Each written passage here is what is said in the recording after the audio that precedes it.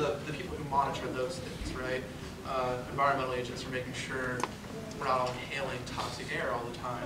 And food inspectors are making sure that food production facilities aren't, you know, they're following the rules that your food is safe, doesn't have chemicals and in it. And then tax auditors are making sure that everyone's contributing to the system. These are things you have to do. You have to contribute to the public well-being. So every one of these people has the right to charge people. So it's worth looking at in criminal justice class on due process.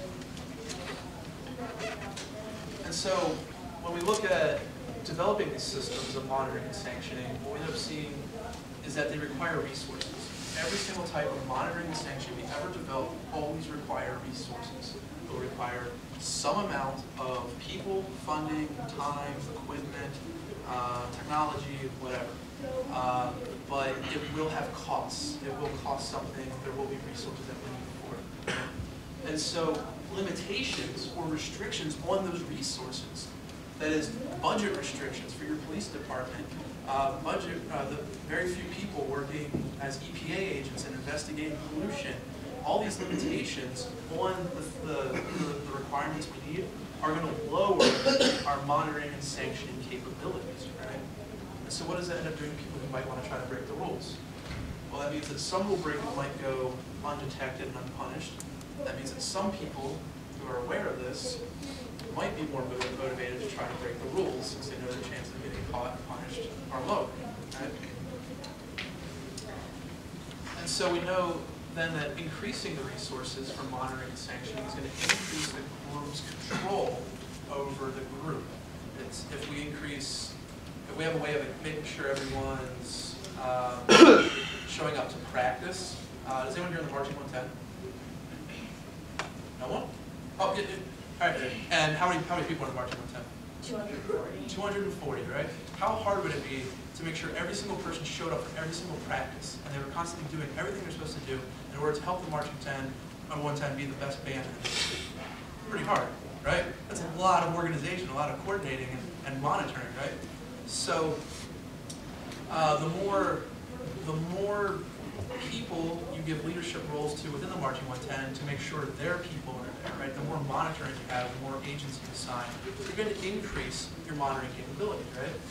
And that's going to increase the probability that members are going to fulfill their obligations because they're going to realize it's more likely they're going to get caught not showing up for band practice, right? Or to get caught, you know, not paying their taxes, all right? Um, so yeah, Group members are more likely to show up for practice, pay their taxes, and not dump toxic waste in the river when we reduce restrictions. Um, but now we have a critical thinking point. Because if monitoring and sanctioning are going to increase the chances for rule breakers to get caught, that, and if control motivates group members to fulfill their obligations and contribute towards these group goals, whether we're looking at a soccer team or society, right, then would groups work best by removing all the restrictions on monitoring sanctioning, right? Would creating limitless surveillance and increasing corrections funding, and building more prisons, hiring more corrections officers, would these things result in a better society than we have now? What do you guys think? No? Why not?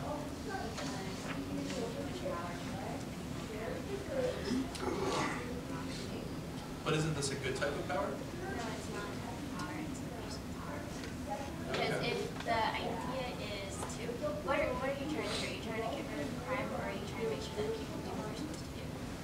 Uh, the second thing, we're, so she asked, are we trying to get rid of crime or are we trying to make sure people are doing what they're supposed to do? And that's what we're talking about here in groups, right? Making sure everyone's fulfilling their responsibilities. Okay, if you're trying to do that, I just feel like sanctioning, it's not gonna help. Okay. It's only putting pressure on people that probably would have done it anyways. What about increasing monitoring? No? I just think, I don't know, I just think that's silly. I, like I said before, you're putting more pressure on people who are doing what they're gonna do anyways. Okay. Right, so some people are inevitably going to commit crime. Increasing monitoring is not really going to alter their, it's not going to deter them from committing crime. All right.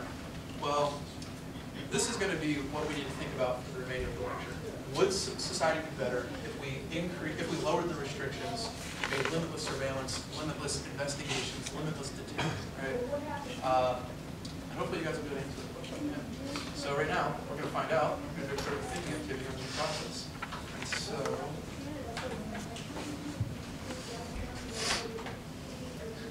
okay, and I'm going to find a way to make this available to all of you so you can review it before your exam. All right, because you might have more questions coming from this, all right, maybe. And so, but, so don't worry about that, but um, a lot of it reviews what we talked about so far today in the introduction, so that'll be for. Uh, okay, so what we're gonna do right now is we're going to play the token game, and I need six volunteers. Come on down. Yep. You don't have to be under twenty-one, anyone? Yep, come on, four more. Four more.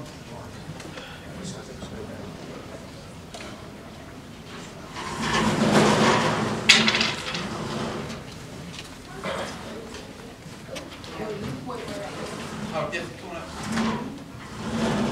You wanna help me set that table over there by the chalkboard? All right, two more. One more. Yeah, all right, come on. Awesome. All right. You guys are cool. Uh, yeah, that's fine. Perfect. Cool, move this out of the way.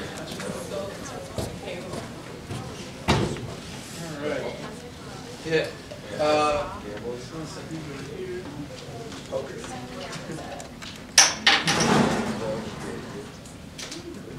Okay, and so what we're gonna do here, uh, we're gonna play a quick game. Um, we're gonna do four rounds of this game, and is there chalk available? Oh, perfect. Uh, we'll write the scores up here. So,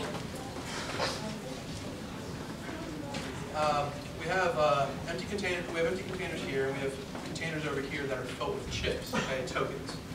And I'm going to assign some of you to be workers. And your role as workers is very simple. You're supposed to walk over here, pick up a single chip, put it in your hand, you can close your hand, walk over and put it in this cup, all right?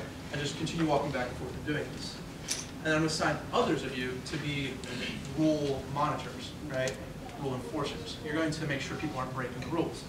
Because what you do have as you pick up a chip is the option as you walk away to slip it in your pocket, okay? To steal it. That's something you can do, all right? And at the end of the game, what we're going to do is all the chips that are in these two cups down here, we're going to total them up, and everyone gets added to their score half of that total number, all right? So if there's 100 chips in there, everyone gets an extra 50 added onto their score, okay? But if you steal a chip, it is worth its full value, right? So if you steal 100 chips, they're worth 100 chips. So they're twice as valuable as contributing them, right? Now, for the rule, for the rule enforcers, when you catch someone stealing a chip, hmm, when, when you're a rule enforcer, when you catch someone stealing chips, you actually get the full value of that chip now, okay? So it's a, you, you profit just as much as the person who stole it, and they no longer profit, okay? Does that make sense? Yep, everyone understand the rules? Yes? Okay. So we're gonna do four rounds. And, all right, for this one, I need four workers, so who wants to be a worker? Yeah, okay, uh, just over here, and then two of you are gonna be rule, or, yeah, two will be rule enforcers. Okay, so you, you four are the workers? Yep, okay, you guys go in line over the table there, and you guys, yeah, you two are the rule enforcers. Now, in this round, if you have, you have no restrictions as rule enforcers, all right? You are completely allowed to stop people whenever you want, make them empty their pockets. Um, you can, uh, now if someone makes it back and forth, um, and they've already stolen a chip from a previous round, that can't be confiscated. But if it's one they just stole, then, then you ought to confiscate. Not take one chip down at a time? You can take more than one chip. Oh, you can, you can take out more than one chip if you want, but you're only supposed to take out one chip, okay? So Right. everyone who's stealing to take more than one? Sure, that's a crime, yeah. Yeah, so, um, and we're gonna do this for, um, sixty seconds. I'm gonna set a timer real quick.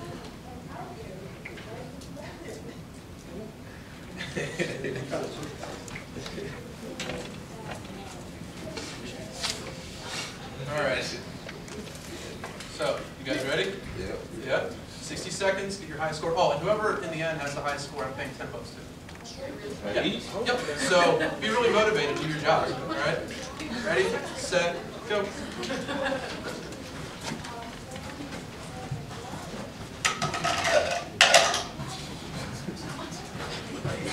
Too many people. Can you stop telling? Sorry, I think I saw. Stop it, Is there a problem?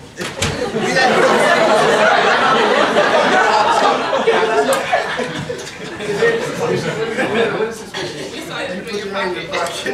pocket. Okay. You put both of your pockets. Yeah. Okay, so, so I give it back to him. Yeah, Well, can he like empty them out? Because what if he only you can, us like you can one? make him turn his pockets up. Turn your pockets. All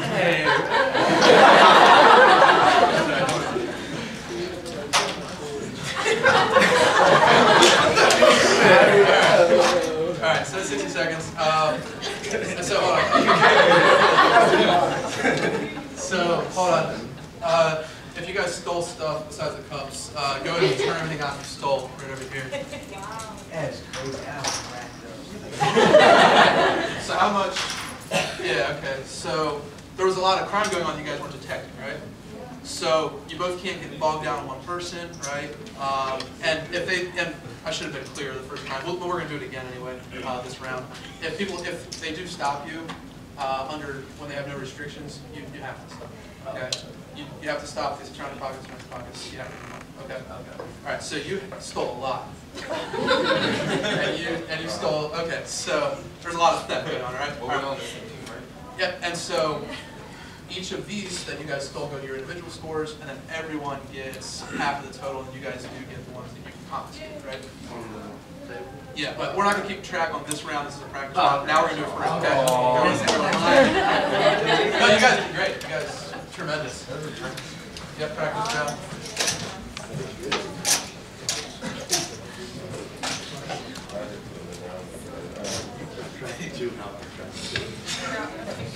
Okay, so now you're organizing your system monitoring, right? Okay. Now you're assigning who's, who's monitoring who, right? Okay. Okay, so we're gonna do the exact same thing again, sixty seconds. All right. You guys ready? Uh, here's, we're gonna do four rounds of this stuff, okay? Ten bucks to whoever gets the highest score, okay? You guys ready? And go.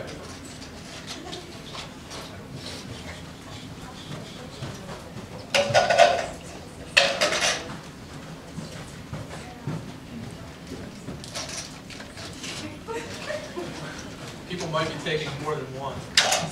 Can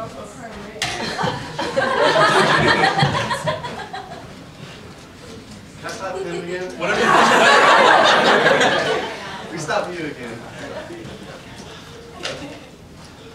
You're sneaky, dude. Time to watch out.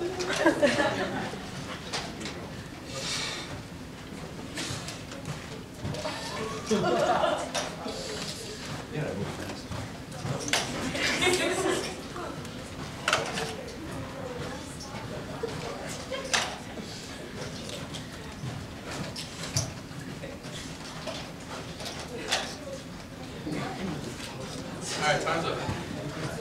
Okay. So right now, um, you guys all count up how many chips you've stolen. I'll count the total up here.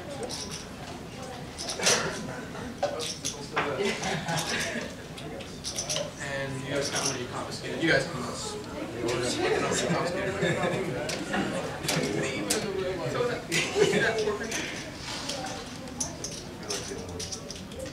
We need to go faster. We got all these, we got all these full. Like, this was sixteen. Four, okay, so go and write up here. It's gonna be four plus eight, so twelve. Yep. And then did you confiscate any? No, okay, okay. Um, so yours is just gonna be eight, okay? So first score is eight. And you put, put uh, rule- rule monitors over you guys. Rule monitors. No, they don't get the chips in the cup. No, they get half the chips. Or half the chips. Yep. That's like eight taxes. Okay. Okay. That's how much?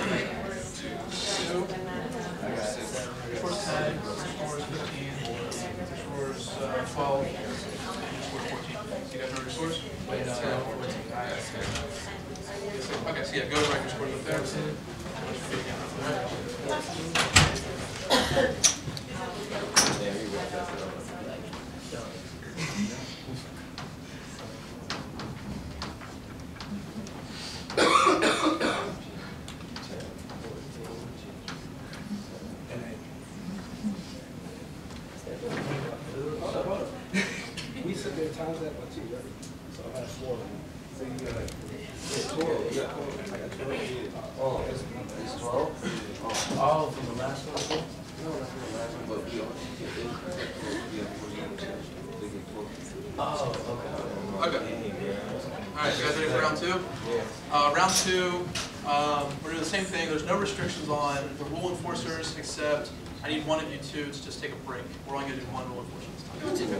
A break. Wanna Take a break? All right. So you're by yourself. You now have to make sure people are taking. Oh, did you? Okay, go ahead and add it.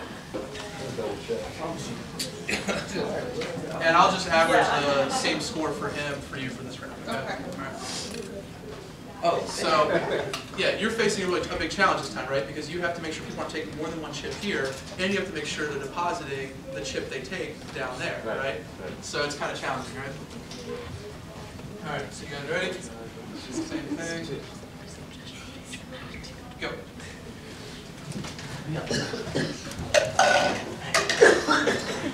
Can I stop, man? Whatever you want, you don't have to ask me.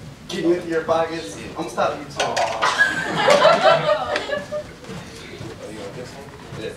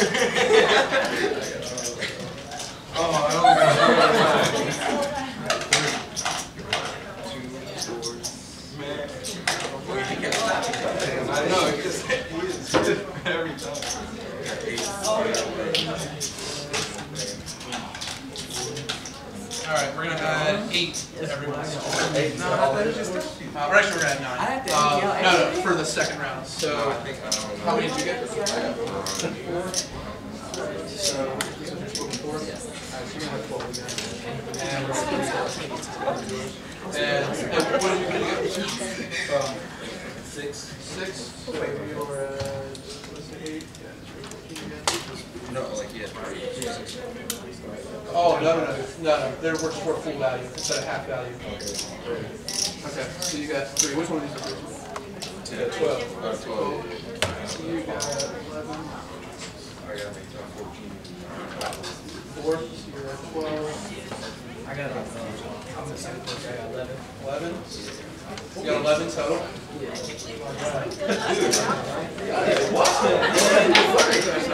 Put us at- Yeah, it's not my jeans.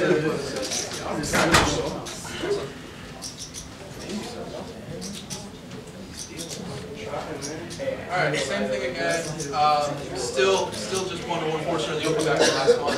Uh, this time, this time you actually have to stop and state out loud what your reasonable articulable suspicion is. Like, I saw you take that chip and put it in your pocket. What if I'm wrong? What? Why would you do that?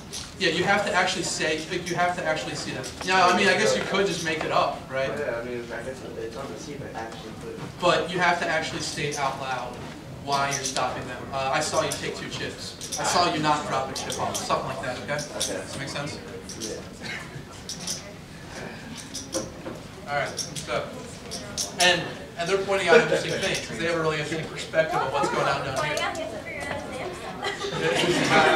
on. All right, so is everyone ready? Sixty seconds.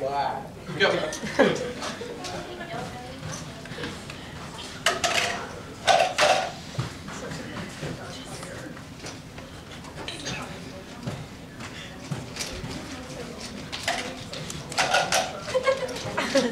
I stop you, because I didn't hear the thing clear.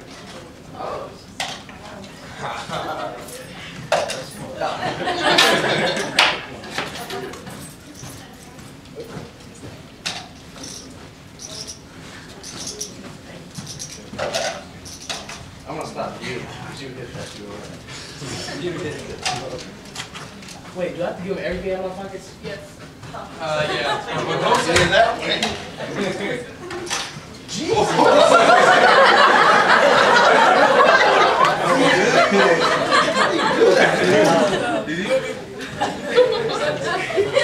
gonna stop you again, because I didn't hear it.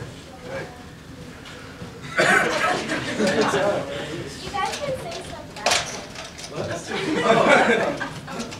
Oh, we're past time. All right, stop. Uh, that was, that was fun.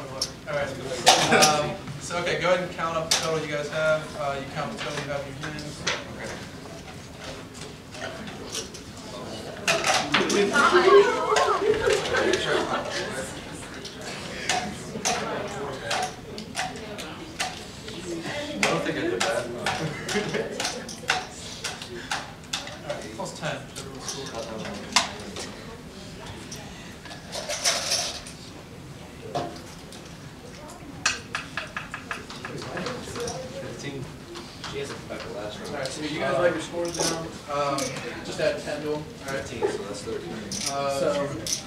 18 here? So 25. So wait, wait, wait. You said what? So how many you got? I got four. So 14. Oh, I got that's 15. I got 20. You have skin 20, yeah. so your score is 30, and so is hers. Okay.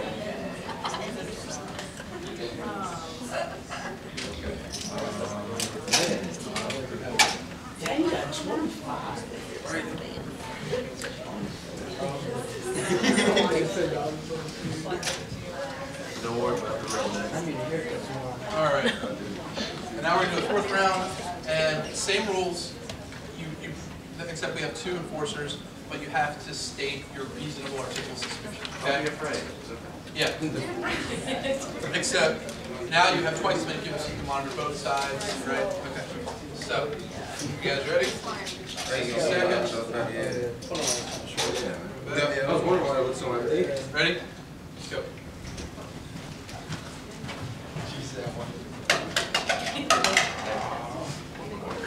You can stop people for doing that. Doing, man.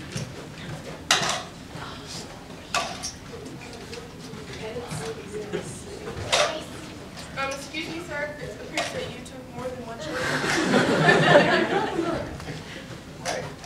Yeah, so those can be confiscated, which means your score gets lowered, right? Oh, yeah, Go and take them out of there. Out of four, four.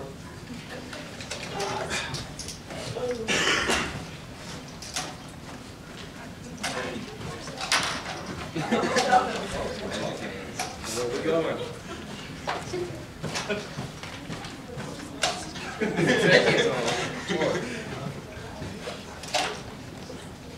Excuse me, sir, uh, is there something else in your hand? Oh, Oh, my, oh, I got it. All right, stop. Stop. Oh, All right. Okay, so go ahead and count up the total confiscated. Uh, that was hilarious.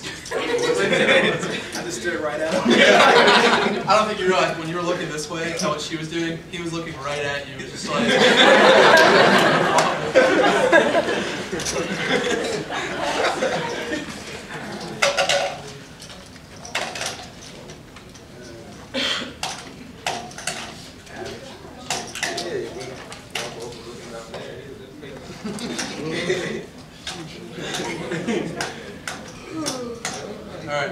And we are adding uh, 12 to everyone's scores. All right, 12 to one.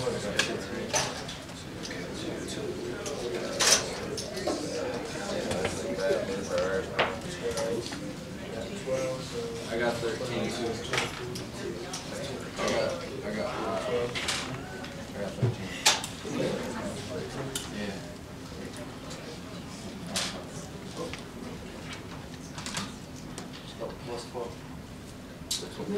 Do it in your head, man. Twenty-two at the bottom.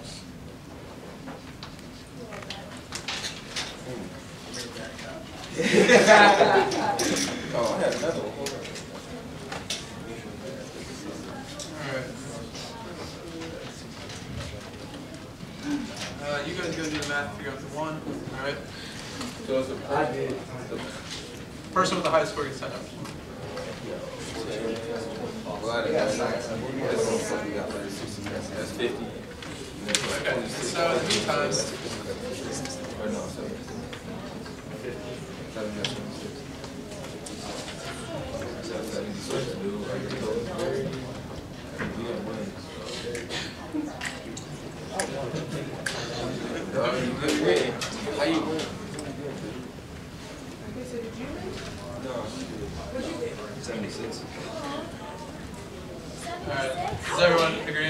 Everyone did great though, that was, that was awesome. Thank you, sir. Yeah, you guys. Round of applause for everyone.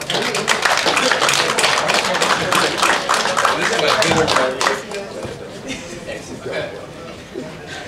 And so now, it's time to answer the really important question we've all I see, so they been trying to thinking look critically about what should we think It's only about, one bill, right? what do you want? Would society work better with limitless surveillance, limitless monitoring, right? That's the question we're supposed to be thinking about. And what, what did we do there? We increased and decreased the number of, of rule enforcers, right? And then we also increased and decreased the due process protections, whether or not they had to state, whether or not they had to have a reasonable articulable suspicion, right? So we just made a little experiment here. We just conducted a quick experiment with would a group work better having limitless, highly limited, or somewhere in the middle uh, due process, right? And what, and if we're trying to figure out what the group benefits are, right, what the group good is that's produced, it's really kind of measured by the total number of chips we get down in the last cup, right? That's the group benefit, because that's what everyone's working towards. The rule enforcers are making sure people are putting chips in there, the workers are going down and putting chips in there. That's like the quality of the music everyone's making, or how fun the soccer game is, or you know, how well the economy does in society, right? How much pollution we're not putting out in the ocean, things like that. And so we saw actually, in the beginning, uh, when there was highly restrictive law enforcement, we had two law, we had two rule enforcers who could stop people as they pleased, didn't have to say anything, and everyone got eight added to their score, because that was the group benefit, right? And then they got eight added the next time. And then they got 10 added the next time. And finally, when we had high numbers of rule enforcers, but they all had restrictions on when they could stop people, everyone got a 12 added to their score. Why? Because people weren't restricted from their daily activities. They could come and go as they wanted and deposit chips, but there was